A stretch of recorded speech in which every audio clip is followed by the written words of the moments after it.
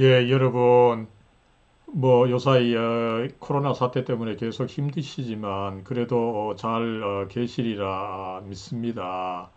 아, 이 시간에는 잠시 성경 말씀 한 절 보고 어, 잠시 기도하고자 합니다.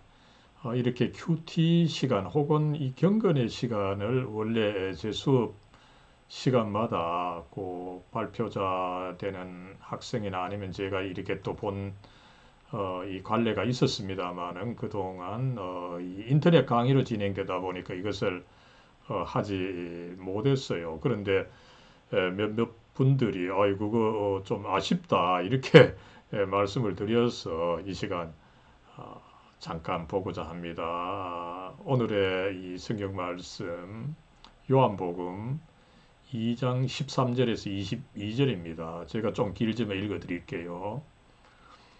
유대인의 유월절이 가까운지라 예수께서 예루살렘으로 올라가셨더니 성전 안에서 소와 양과 비둘기 파는 사람들과 돈 바꾸는 사람들이 앉아 있는 것을 보시고 노끈으로 채찍을 만들사, 만드사 양이나 소를 다 성전에서 내쫓으시고 돈 바꾸는 사람들의 돈을 쏟으시며 상을 엎으시고 비둘기 파는 사람들에게 이르시되 이것을 여기서 가져가라.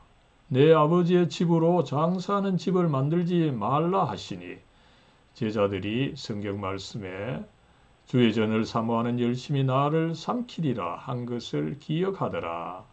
이에 유대인들이 대답하여 예수께 말하기를 내가 이런 일을 행하니 무슨 표적을 우리에게 보이겠느냐? 예수께서 대답하여 이르시되 너희가 이 성전을 헐라 내가 사흘 동안에 일으키리라. 유대인들이 이르되 이 성전은 46년 동안의 지역권을 내가 3일 동안에 일으키겠느냐 하더라. 그러나 예수는 성전된 자기 육체를 가리켜 말씀하신 것이라. 죽은 자 가운데서 살아나신 후에야 제자들이 이 말씀하신 것을 기억하고 성경과 예수께서 하신 말씀을 믿었더라. 아멘.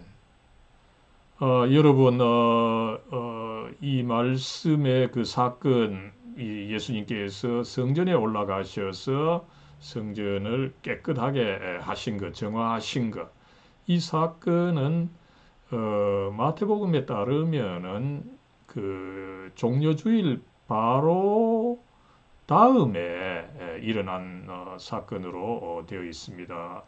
마태복음 21장 1절에서 11절까지 이 종려주일 보도가 있고 그 다음 12절부터 17절 사이에 이 예수님의 성전 정화 사건이 제시되어 있는 것을 보면은 예수님께서 이 고난 주간의 마지막 주간에 성전을 방문하시고 깨끗하게 하셨던 것을 우리가 어, 알 수가 있습니다. 여러분 아무쪼록 이 사건은 예수님의 본질과 사명을 정말 잘 보여주는 말씀이라고 어, 보겠습니다.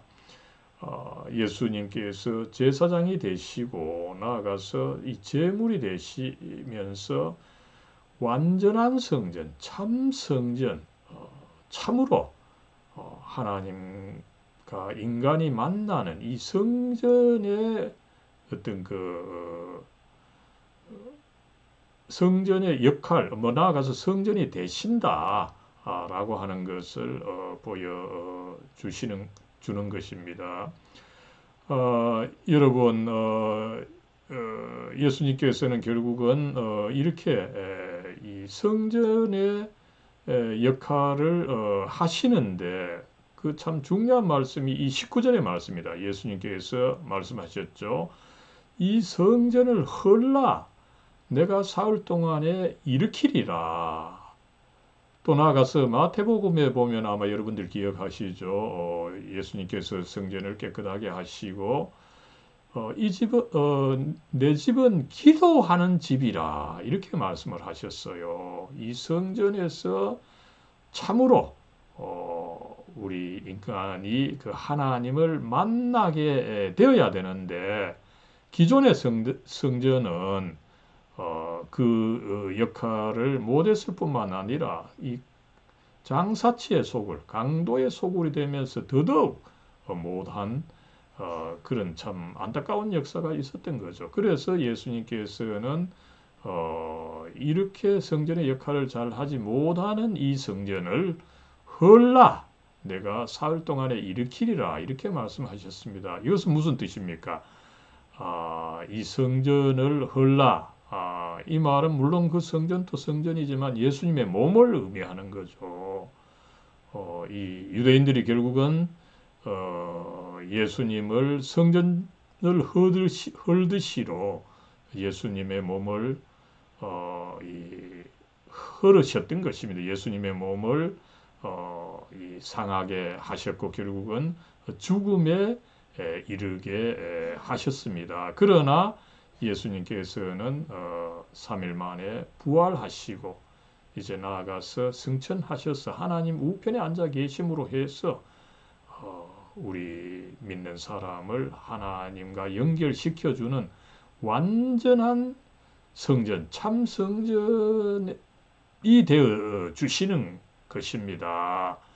아, 그러나 유대인들은 어, 이런 어떤 어, 예수님의 어떤 그 어, 도전이랄지 참 어, 이런 어, 것들을 잘 이해하지 못하고 결국은 어, 예수님을 십자가에 에, 못 박고 또 죽음에 에, 이르도록 어, 했던 것입니다. 그러나 예수님께서는 이 모든 것을 아시고도 어, 그것이야말로 어, 당신의 사명인 것으로 어, 확고하게 믿고 그 일을 어, 이루시고자 뚜벅뚜벅 당신의 길을 어, 걸어가셨던 것을 알 수가 있습니다. 아무쪼록 여러분 어, 이 고난 주간에 어, 예수님께서 어, 그렇게 에, 당신의 사명을 이루시기 위해서 고난의 길을 뚜벅뚜벅 걸어가신 것을 어, 생각하면서 우리도 또한 우리의 길 나름대로 참 이 고난의 길이긴 합니다. 그러나 아, 예수님께서 가신 것을 본받아서 우리도 또한 감사하면서 뚜벅뚜벅 걸어가는 여러분과 제가 되기를 기원합니다. 사랑과 은혜로 충만하신 하나님, 아, 저희들 이 코로나 사태로 인해서 서로 만나지 못하고 인터넷상이지만 그럼에도 불구하고 이렇게 또 서로를 예상하고 하나님 함께 또 말씀을 나누고 또 함께 배울 수 있게 해주시니 참으로 감사의 감사를 드리옵나이다. 하나님 이 고난 주간 저희들 다시금 예수님을 바라봅니다. 아, 주님께서는 그렇게 참이 아, 고난과 십자가가 아, 앞에 있는 것을 어, 아셨지만 그럼에도 불구하고 그것이야말로 어, 당신의 사명을 완수하시는 것으로 믿고 뚜벅뚜벅 어, 걸어가셨던 것을 저희들이 다시 한번 배웁니다. 하나님 저희들도 참 여러 가지 이 고난과 십자가 저희들에게 있습니다. 그러나 아, 저희들도 또 예수님 본받아서 저희들의 길을 뚜벅뚜벅 할 수 있도록 하나님 힘 주시고 이끌어 주시옵소서. 아무쪼록 이 코로나 사태 또잘 어, 어, 이기고 저희들 참 다시 만나서 또한 그 부활의 기쁨을 또 서로 나눌 수 있도록 하나님 어, 제 강의 듣는 모든 분들 한 분 한 분 축복해 주시고 눈동자처럼 어, 지켜 어, 주시옵소서 우리 주 예수 그리스도의 이름으로 간절히 기도드리옵나이다. 아멘.